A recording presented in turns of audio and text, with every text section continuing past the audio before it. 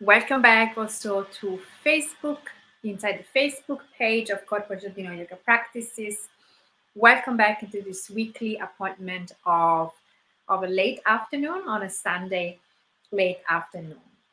Every week I share with in my Instagram account and in Corpo Giardino Yoga Practices Facebook page practices, rituals, and conversations about how we can empower the relationship with our bodies through two main tools yoga and menstrual cycle awareness. Welcome back. My name is Andrea and nice to meet you.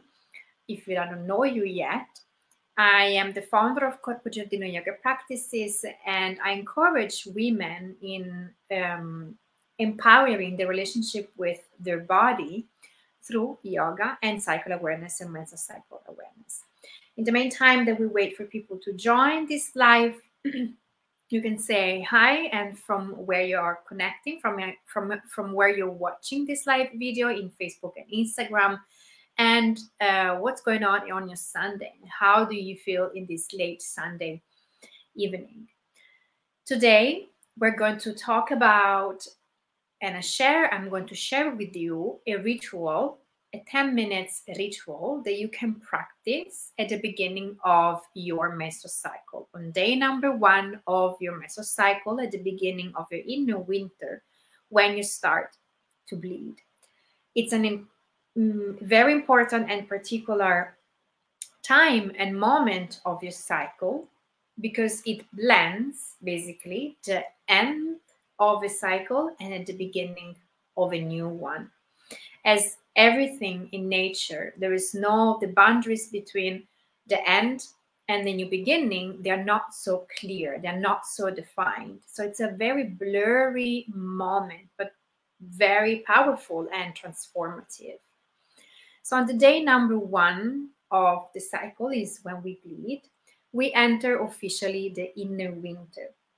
The inner winter is the time from two to five days uh, of our menstrual cycle where we retreat, where we naturally have the tendency to retreat ourselves, to separate ourselves from the rest of the world, of the rest of society, and enter this very uh, intimate and profound uh, inner landscape that we have. It's a very particular moment to connect to a deeper layer of ourselves and be less extrovert and be more introvert in the sense of retreating inward. The ritual that I'm going to share with you today is very easy. It's made by journaling prompts that you can use uh, as a way of using this the cycle, the menstrual cycle as an orientation map to go cycle after cycle, cycle after cycle. What I normally encourage my students to do is to prepare Number one, prepare your sacred space. The sacred space is the space where you normally practice yoga at home, a space that is big enough, that it's clean, there's enough light, and it's very personal and unique. What you see in this video is my personal uh, sacred space at home. I love to practice near a window in a corner because I feel more safe and protected. I'm surrounded by plants and other objects that I know and that have very particular meaning for me. And that's why it's so personal, personal and unique. It's up to you to um, create it in any time and any way you want at the end. You can use candles, you can use incense if you want, you can use any type of elements that resonate with you deeply with yourself. The point number two is a nice and soothing yoga practice that we're not going to do this today, but you can, I normally encourage people and my students to practice um, yoga nidra, restorative yoga, or yin yoga, really as a form of support and nourishment for the this time of the month where we need more rest and restoration, and the yoga practice can really support us in this after the yoga practice that helped us to connect to a deeper layer of ourselves, a very intimate layer with ourselves, now we can begin the second part of the ritual, which is a journaling practice exercise. And we can do it together today. But before we begin, let's close our eyes for a couple of breaths. So find a comfortable position. Close your eyes. Relax your face, relax your chin slightly to your sternum. Take a nice inhale with your nose. Then another sip. Hold your breath. And out with your mouth.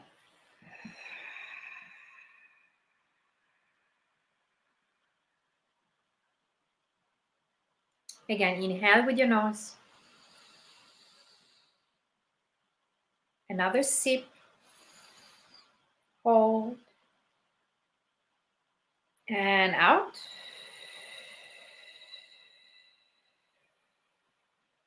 Last one, another inhale with the nose. Another sip through your nose. Hold your breath.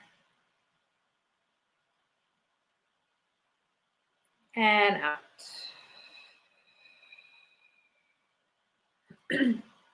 Stay with your eyes closed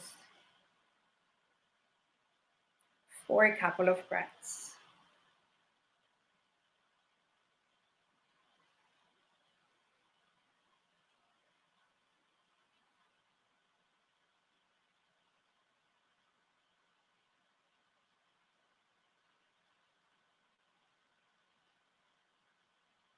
Then gently open up your eyes again, coming back in your sacred space if you are in your sacred space.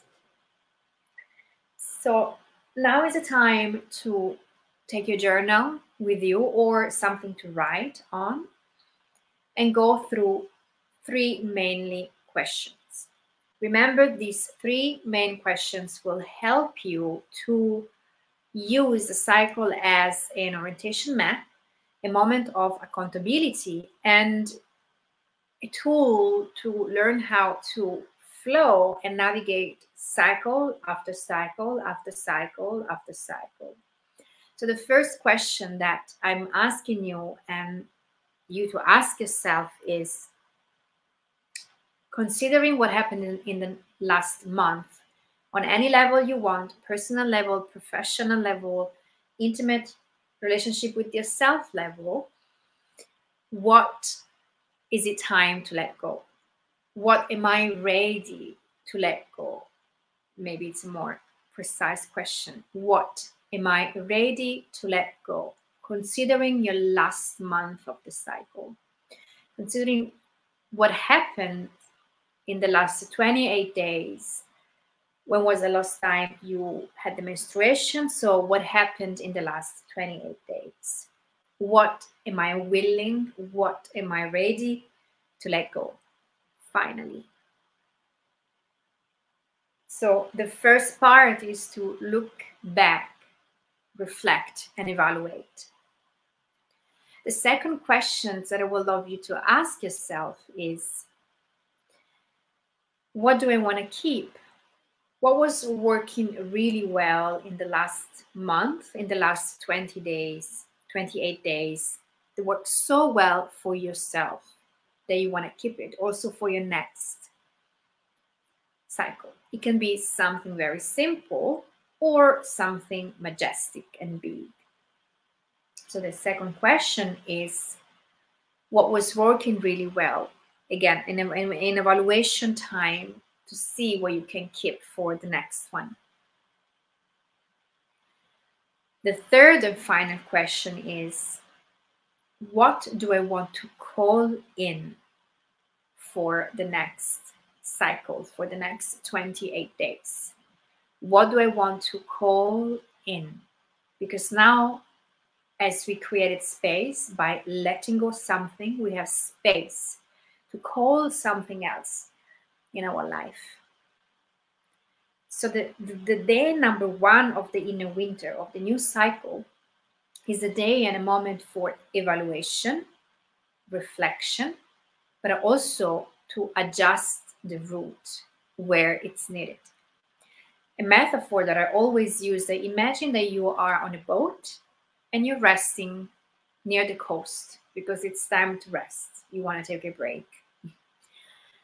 And you evaluate on your travel of the last 28 days.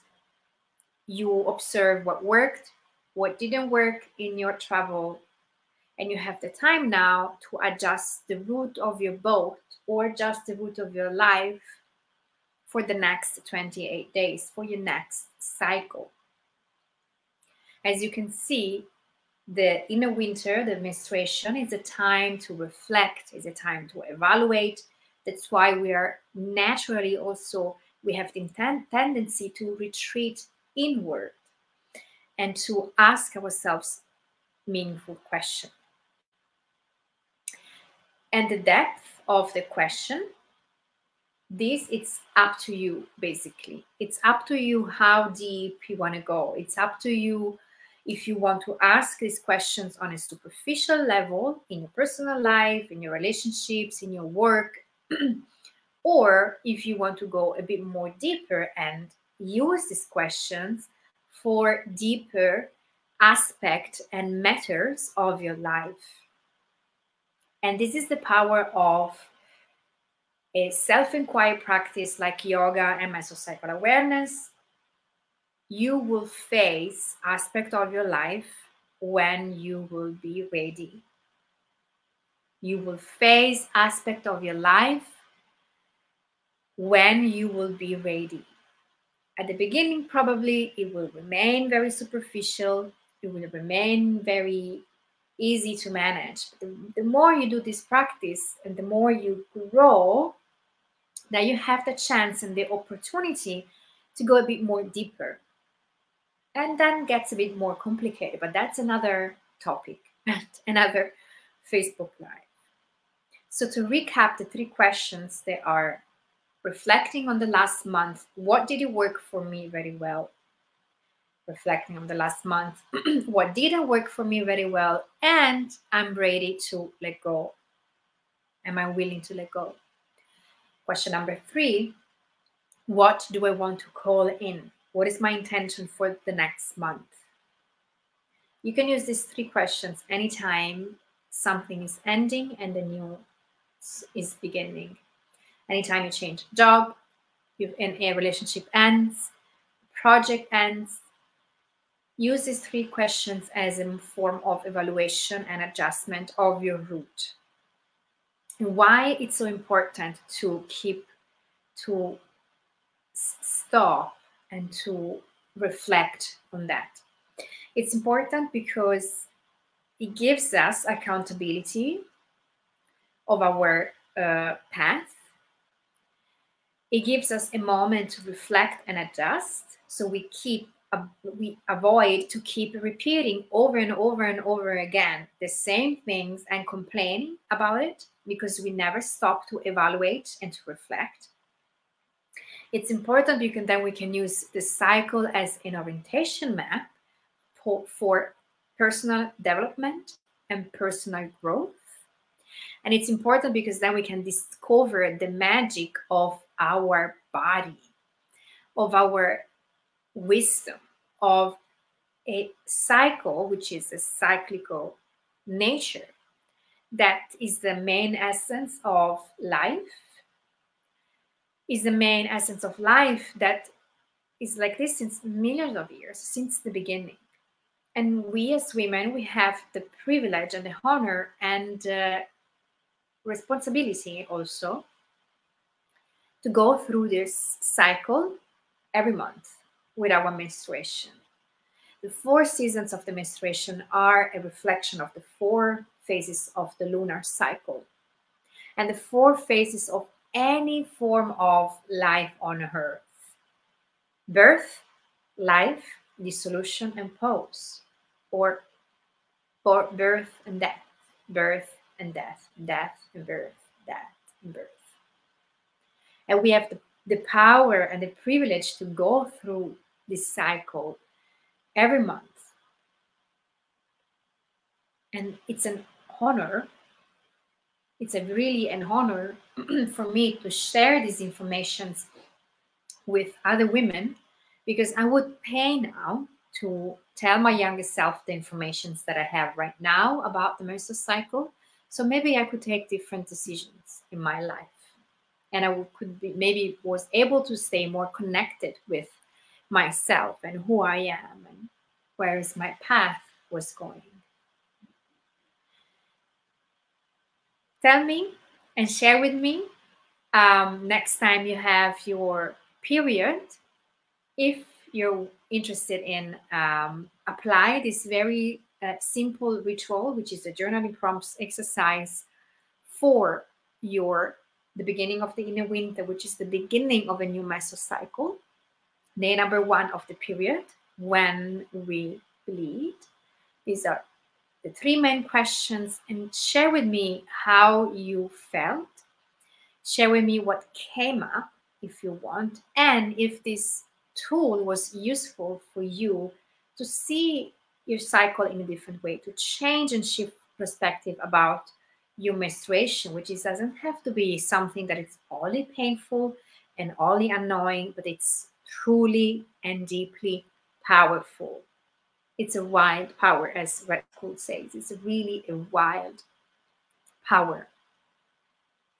And if you're interested to go a bit more in depth about how to synchronize yoga with your menstrual cycle, I created a free masterclass on the February the 13th. so it's in two weeks, two hours, where we're going to explore how we can synchronize our yoga practice with a different set of needs, strengths, and challenges we face in the each seasons of the cycle. We learn how to track the cycle and the four seasons.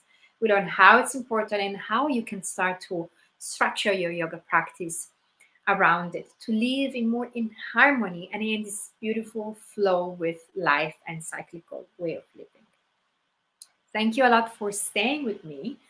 Check the link that I'm sharing in this post to sign up for the masterclass and if you have questions or if you have particular wishes around yoga and menstrual cycle awareness, simply contact me. I'm here for you. My job is to create content for you, for the, the, the women interested in, in empowering themselves in um, with the relationship with the body through yoga and menstrual cycle awareness. So thank you, thank you a lot for being with me and see you next week. Bye.